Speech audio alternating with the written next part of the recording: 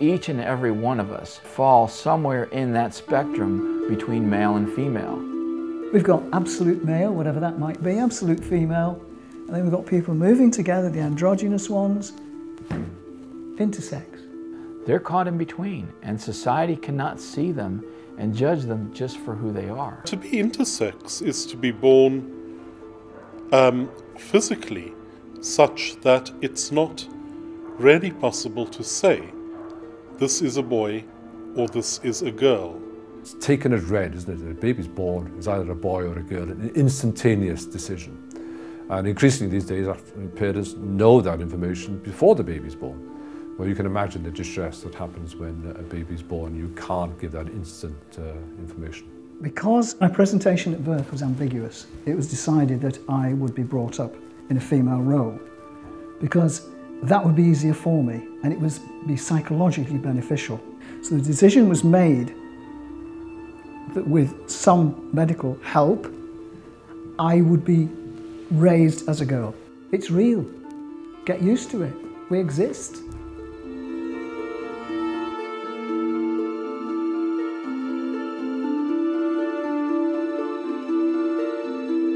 In the animal kingdom, hermaphrodites are not that rare, for instance, like the snail. And there's also a fish species that actually changes male to female at some point in their lives. Sexual preference is not really where, where it's at. The, the real focus is on the biology. Many are born with a variation towards one side of the spectrum or the other. They may have male genitalia, but internally they have ovaries, or they may have ambiguous genitalia, where you can't really tell what it is because everything is still inside of them. Male reproductive problems um, are extremely common, whether they present at birth or in a young man. And um, that's really sort of unexplained. Um, and I think what we've come to understand is that the process of making a male, what makes you and me, as opposed to us developing as female, is a process that's, if you like, bound to go wrong some of the time. So to become a female, that's the way the program is set to run, what we would call the setup program. As a fetus, you can become either sex. It just depends on the hormones. Hormones play a critical roles at various stages in development of a male. But it's the effect in fetal life that is fundamentally important because that's, if you like, setting the stage. There are many, many departures from what is called the typical image we conjure up in our mind of what is a male and what is a female. I've counted around 40 or 50 different types of abnormalities in humans in the medical literature, each with a different name, a different syndrome for sexual development. If there is a blockage to an embryo and fetus developing into a male, and then something happens to stop that, then the presentation is not male, but equally it isn't female. Born Between will first explore a major scientific controversy in 1965, twin boys were born in Winnipeg, Manitoba. During the circumcision of one of the boys, his whole penis was accidentally removed. Psychologist John Money thought he could solve the problem. The advice from John Money was he can't be repaired, so from now on, bring this child up, not as your son, but as your daughter. And I will prove to you that nurturing can actually produce a healthy, happy girl, and she will not know anything about this. Dr. Money, it's still a pretty drastic procedure, isn't it? Well, it's a drastic procedure by, procedure by your standards and mine, but for the people who are living in desperation, uh, perhaps the best way to understand it is that it seems no more drastic to them than circumcision. Since the 1960s, generations of intersex children have been surgically reassigned to a sex that seems to be the easiest for surgery to achieve. Reproductive biologist Milton Diamond became deeply skeptical about Money's claims that gender could be reassigned so easily. Dr. Diamond was, in the medical community, the only person that was disagreeing with Dr. Money when he specifically said, well, we can reassign kids at birth and we can turn them into whatever gender we want. And it's not going to have any adverse consequences.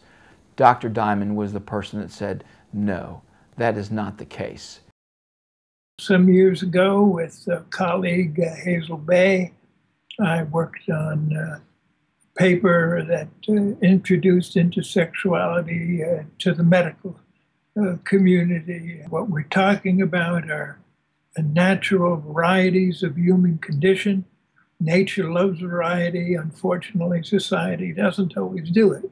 He spent 20 years finding those two boys that, that he tried to convert a male and turn them into a female and have them live their lives as a female. They were miserable. Both of them ended up committing suicide. When people talk about female genital mutilation, they usually apply it to these immigrants are doing this. All these people that live in places like Africa and India are doing this. And this could never happen here, but it is happening here. It just has a different name. It's called surgical reassignment. Jay Hayes-Light knows to his cost how medical misinformation can damage people's lives, and he now campaigns for intersex people. He himself was raised as a girl and sent to all girls' schools from an early age.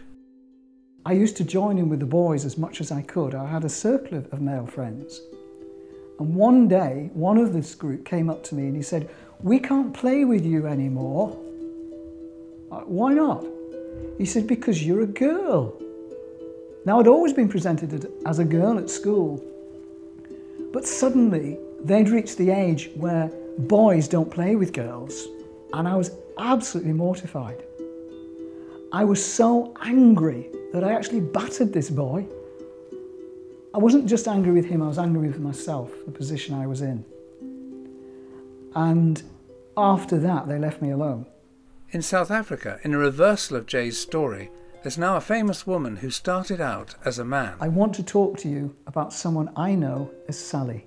She was actually denied the opportunity to change her birth certificate and she had to fight for this, despite the fact that she was brought up as male and discovered later in life, having been ordained as a Catholic priest, she discovered when she had a health check done that internally she was female. She prayed about this and she finally decided she had to be honest. She had to tell her seniors what had happened. And she thought that the church would wrap its arms around her and say, We will support you. That's not what happened. If she was going to transition to female, she had to do it in secret. She couldn't identify who she was or what she did for a living. She couldn't be, even be identified with the Catholic Church. And if she wished for any reason to attend church, she had to make personal contact with the bishop and get his permission every single time. So she was defrocked and she was just thrown out to the wolves. She had all the medical evidence to show that she was intersex, but she was told the only route to change her birth certificate in South Africa was to actually go through the same process as a trans person, to do a real life test, and to have surgery. And she's refused to have surgery, and she's fought against this, and finally she won. By being open about what I am and being prepared to confront just being myself and insisting on being myself, by insisting that people encounter me as a human being and not some kind of label, one compels respect and people do come to understand. The way intersex people are treated by the law varies enormously from country to country. The most progressive government in terms of intersex and the issue of a third gender is actually the Australian government. The Australian government now has to where you don't have to classify yourself as a male or a female on your passport. You can put an X on your passport, and that's a third gender. In the UK, a member of the House of Lords, Lord Stevenson of Balmacara, himself an intersex person, wants the law to be changed. I suffer from hypospadias, which is not a very well known condition affecting mainly boys, though it does affect girls as well. and uh, it, it's a, pro uh, a, problem that, that uh, probably now about 1 in 150, 1 in 200 boys are born with every year. And it causes immense distress and pain because it affects the, the penis, and therefore it's something that's very private and difficult to talk about. If it's hard to grow up as a boy with a relatively minor problem like hypospadia, how much harder if you're more fully intersex? I know of one person who was raised as a boy, who, who uh, went to a boys only school, uh, participated in all sorts of activities that were very masculine, rugby, that sort of stuff, and then discovered during puberty that she was changing and she's now become absolutely clearly a, a woman and, and, is trying to live her life there. We've got to have a different way of addressing this. I mean, and in some, some countries, I understand they are beginning to move towards a recognition of intersex as being a perfectly legitimate label, which does describe what people have and doesn't require that birth certificates are changed or anything else is altered later in life, because at the appropriate time, the sex becomes obvious and the gender and the sex can be aligned. And that seems a very appropriate way of doing it if we can get there. Nepal is another country which has recently officially recognised that people can have an intermediate gender. But whatever the law states, many people find it hard to accept intersex people as they are. Motivated by her own situation, actress Sarah Lever has presented a play based on a famous French hermaphrodite, Herculine Barbin, exploring the difficulties of being neither one sex nor the other. Do good, me. My mum saved all her money for my schooling. I was proud. Sarah herself felt like a boy from a very young age. Can you? What a charm. From as early as she can remember, she thought of herself as a boy. Her parents were supportive as she grew up, but the truth hidden in her biology, came out only much later. I suppose the, the earliest I can remember is five, and I think from as far back as I can remember there, I definitely felt that I didn't feel that I was fully sort of female, but I never kind of saw it as anything particularly significant, I suppose. It just was what it was. I told everyone that I was a boy and I used to go to the boys' toilets. Um, but I don't remember the point when they found out that I was a girl, and I don't remember it being a big issue. You know, I think it was something that they just accepted. And I suppose I looked like a little boy when I was kind of between five and ten. And so quite often if I went into the girls' toilets, people would say, oh, this, this is the girls' toilets, or this is the girls' changing rooms. The kids just sort of accepted, um, whereas interestingly, some of the teachers didn't. But I do remember getting to probably about 14, 13, 14, and suddenly I didn't like it anymore and I, I, was embarrassed by it. So I went to my doctor and I said to the doctor, I explained and I said, I, I, I just, I know this might sound a bit weird, but I just wonder if I'm, you know, intersex. And I suppose I was expecting a big, long kind of inquiry or whatever. And, and to my surprise, she, she looked in my notes that were in front of her and she said, oh yes, uh, it says here that you were born with a gonad. They removed the gonad when you were two. They did this test in your chromosomes, they found that you were female. I do feel very fortunate. I feel fortunate that I grew up with parents who didn't try to sort of change me. Uh, I'm married, so I got married last November to a woman. Um, so I've kind of known that I, I was gay, I suppose, from about 19, so not really young. Probably I did know, but it didn't really come out until I was 19.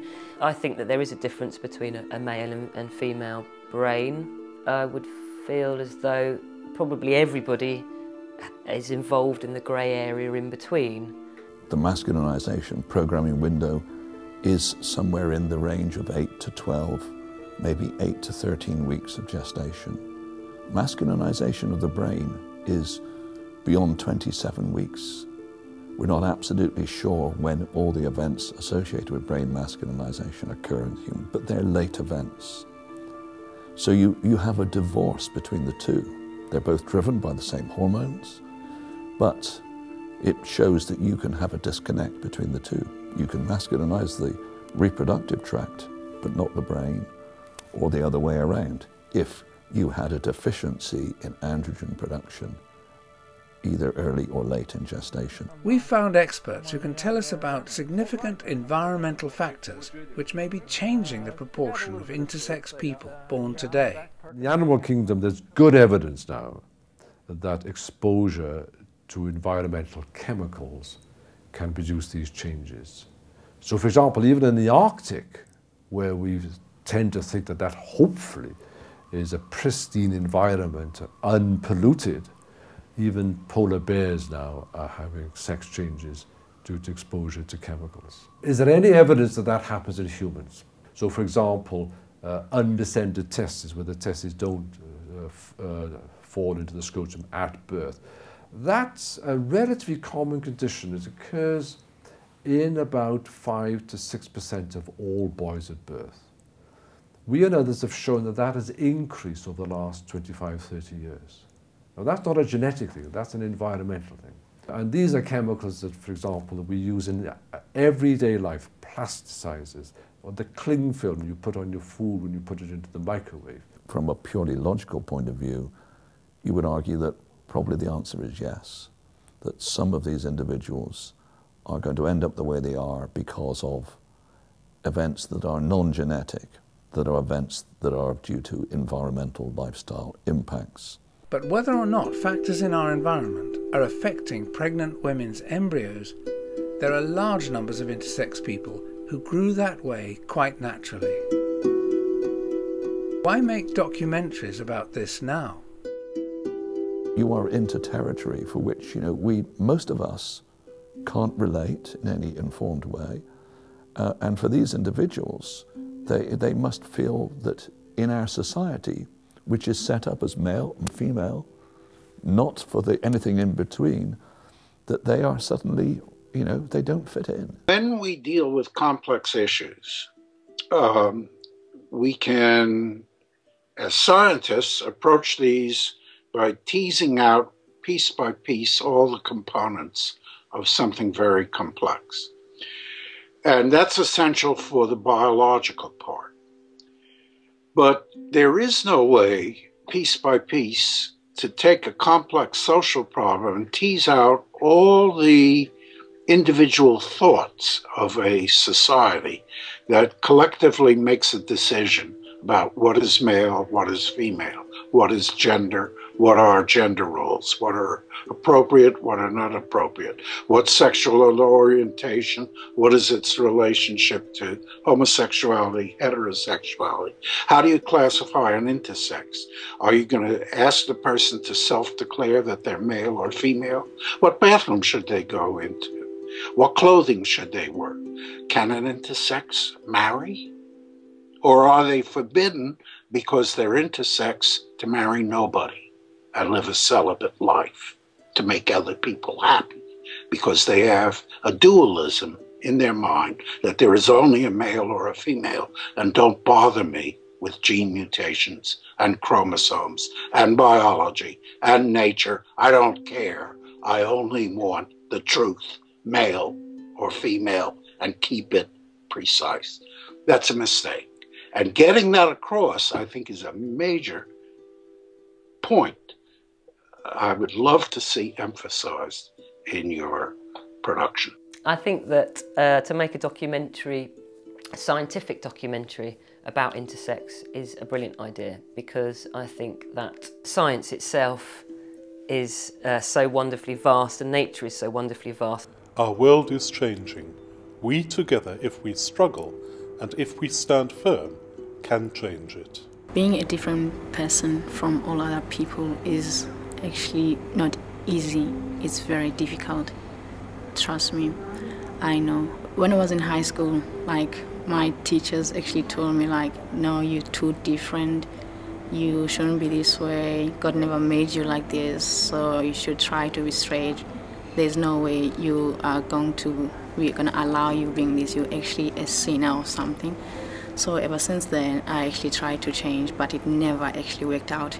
So today I want to tell you to not ever make my mistake. Don't let anybody tell you who you are or who you should be.